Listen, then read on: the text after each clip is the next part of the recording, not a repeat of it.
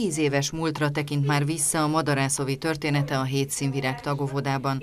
A cél a program indulása óta változatlanul az, hogy a gyerekek koruknak megfelelően ismerkedjenek az élővilággal, a madarakkal. A Madarászovi több állomásból álló, egész tanéven keresztül zajló program a Tolnai úti intézményben. Ami most aktuális, az a téli madáretetés.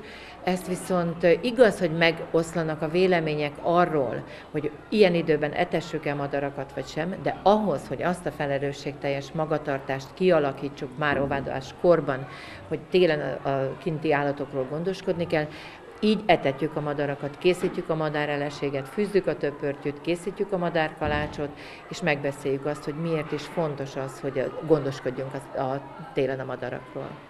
A mostani projekt héten minden erről szól a Hétszínvirág tagóvodában. A gyerekek dalokkal, játékokkal és kézműves foglalkozásokon bővítik ismereteiket. Gólya, gólya, gilice,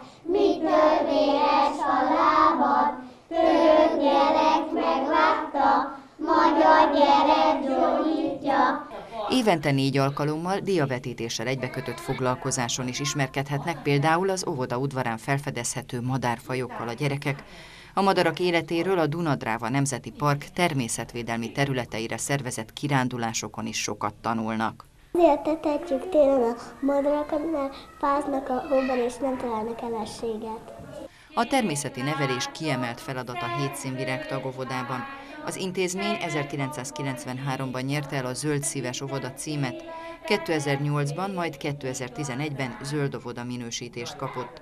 Ez utóbbit, ha a lehetőségek úgy alakulnak, legközelebb már örökös használatra vehetik át.